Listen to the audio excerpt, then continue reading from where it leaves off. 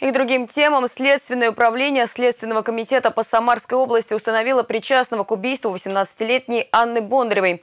Им оказался ее молодой человек. По версии следствия, они поссорились, после чего подозреваемый ушел с девушкой в лесной массив, где причинил ей телесные повреждения, несовместимые с жизнью.